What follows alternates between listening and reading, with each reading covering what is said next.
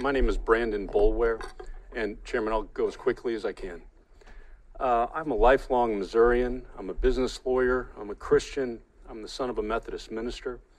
I'm a husband. I'm the father of four kids two boys, two girls, including a wonderful and beautiful transgender uh, daughter who uh, today happens to be her birthday. And uh, I chose to be here. She doesn't know that.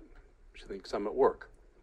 One thing I often hear when transgender issues are discussed is, I don't get it. I don't understand. And I would expect some of you to have said that and feel the same way. I didn't get it either.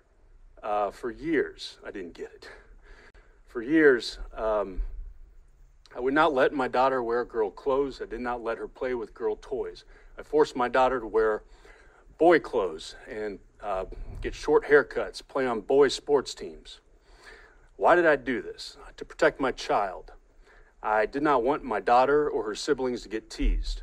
And truth be told, I did it to protect myself as well. I wanted to avoid those inevitable questions uh, as to why my child did not look and act like a boy. My child was miserable. I cannot overstate that. She was absolutely miserable, especially at school.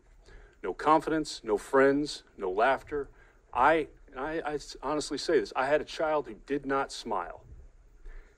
We did that for years. We did that against the advice of teachers, therapists, and other experts. I remember the day everything changed for me. I'd gotten home from work, and my daughter and her brother were in the front lawn.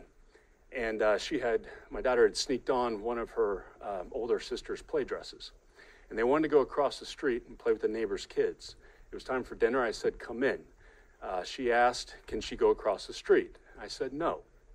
She, she asked me if she, if she went inside and put on boy clothes, could she then go across the street and play?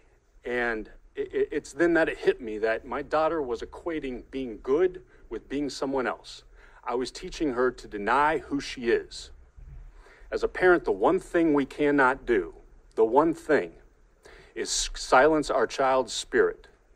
And so on that day, my wife and I stopped silencing our child's spirit.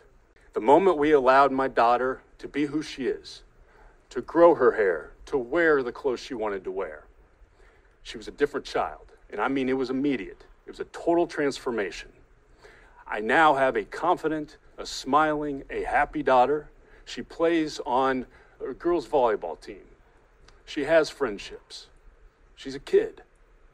I came here today as a parent to share my story. I need you to understand that this language, if it becomes law, will have real effects on real people. It will affect my daughter. It will mean she cannot play on the girls' volleyball team or dance squad or tennis team.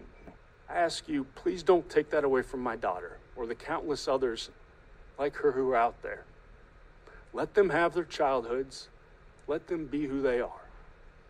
I ask you to vote against this legislation.